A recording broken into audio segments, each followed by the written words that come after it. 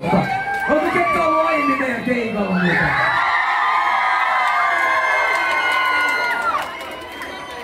Hienoa. Muutamia myös uusia tyyppejä.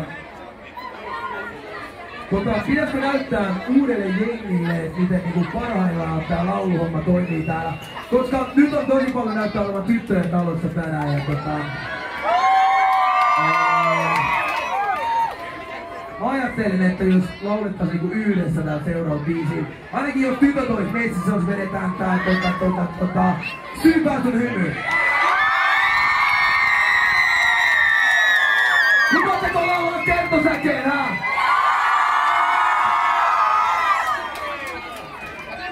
Mä luotan tähän jengiin, koitetaan.